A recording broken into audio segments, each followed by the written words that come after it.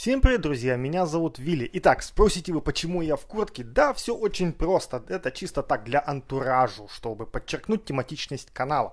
А поговорить я с вами хочу сегодня в этом видео вот об чем. Покупать ли новый мотоцикл или все-таки бэушный?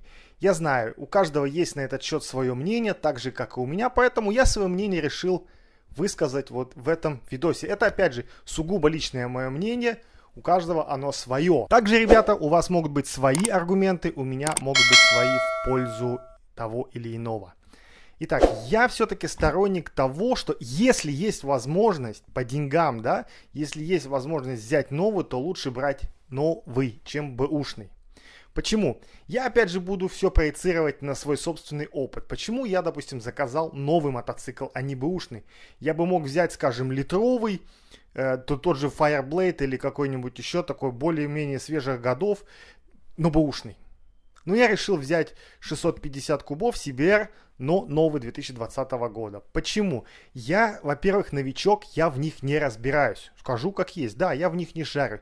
И покупать бэушную технику я я боюсь. Я просто боюсь купить какое-нибудь говно, с которым потом можно влететь на большие, опять же, деньги, и в конце концов то на то и выйдет. Даже вот смотрю некоторых блогеров, да, которые занимаются мотоподбором, и то они ошибаются. Хотя это уже люди, которые с опытом, которые, скажем так, профессионалы.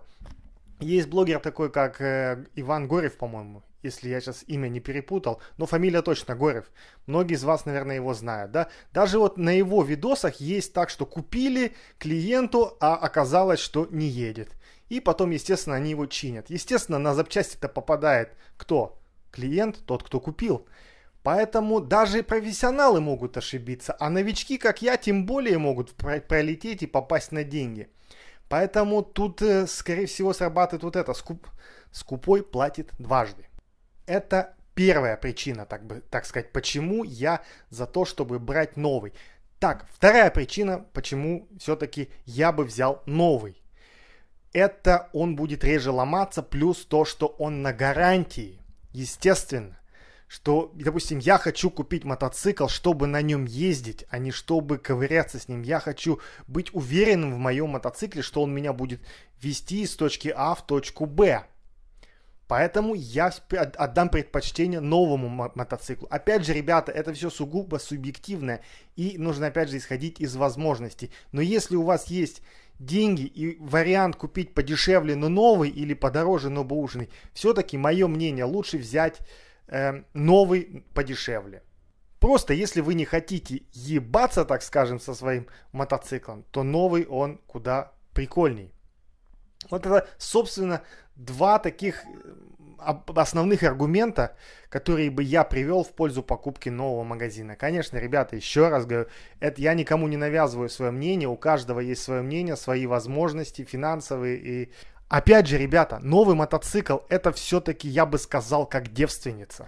То есть, если вы хотите, ну это, да, по, то, то же самое, да, что брать какую-нибудь уже обкатанную женщину, так скажем, опытную, скажем, да, или все-таки взять э, девственницу.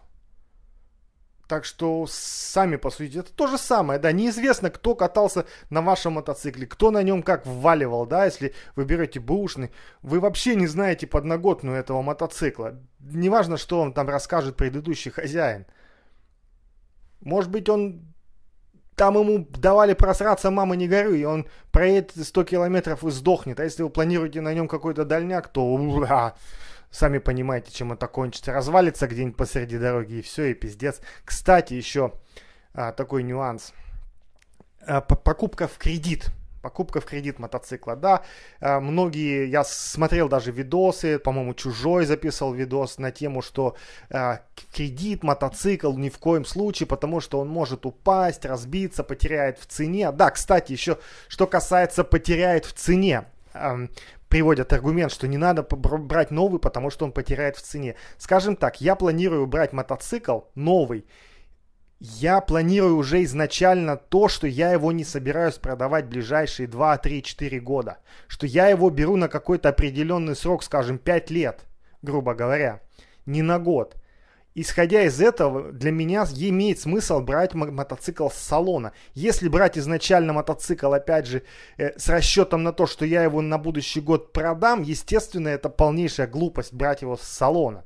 Но люди, которые покупают мотоцикл с салона, они, наверное, в первую очередь исходят из того, что они берут его на какой-то определенный, ну, относительно длительный срок.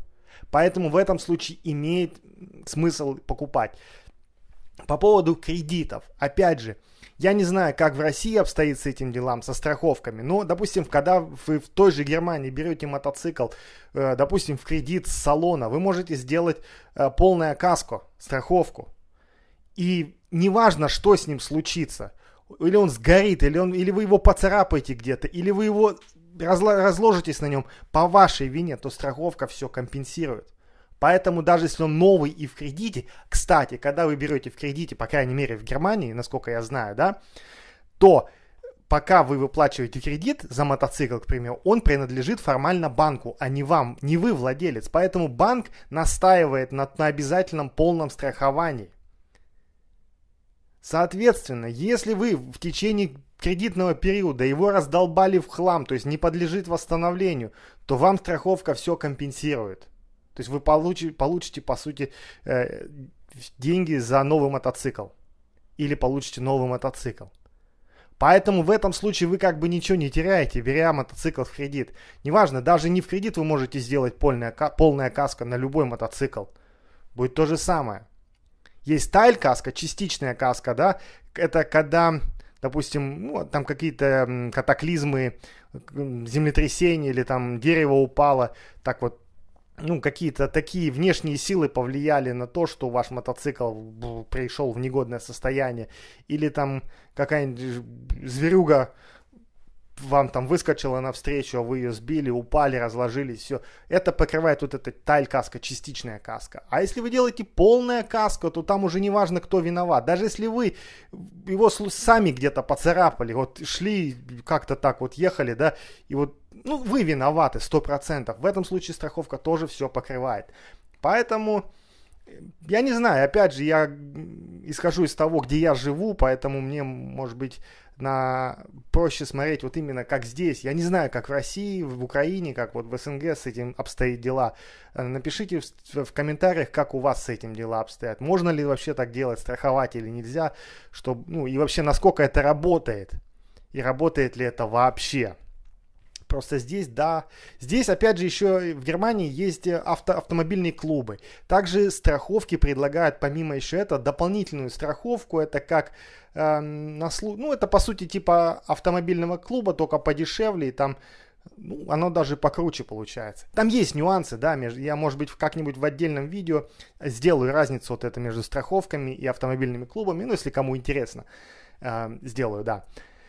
Потом, что касается, это, что это значит? Если вы, скажем, по Германии или по Европе, есть, опять же, страхование по всему миру, то есть где-то вы ехали, на дальняк поехали и просто заглохли, или там разложились, в аварию попали, у вас там клипон оторвался, или что, ну ехать не можете, да?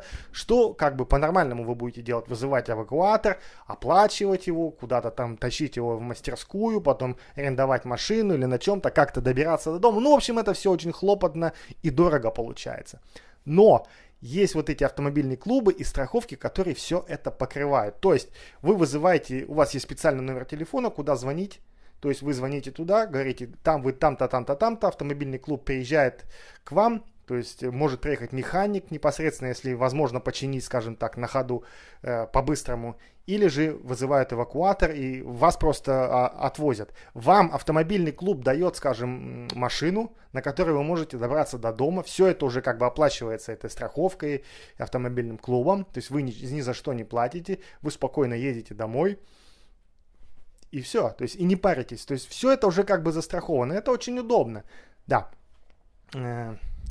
Так вот, ребят, эм, Все, что я хотел в этом видео, я пока сказал. Если у вас еще какие-то будут вопросы, предложения по контенту, пожалуйста, не стесняйтесь, э, пишите в комментариях. Я с удовольствием рассмотрю, что знаю, расскажу. Ну, что не знаю, придумаю или подготовлюсь как-нибудь. Ну, что-нибудь придумаю. Ладно, ребят, еще такой нюанс. Не забывайте обязательно ставить лайки, э, оставлять комментарии, подписываться на канал, кто еще не подписан. Ста жмакаем обязательно на этот колокольчик. Обязательно, обязательно. Это очень важно, э, дабы продвигать канал. Канал немножко молодой пока что. Ну, это опять же все дело наживное.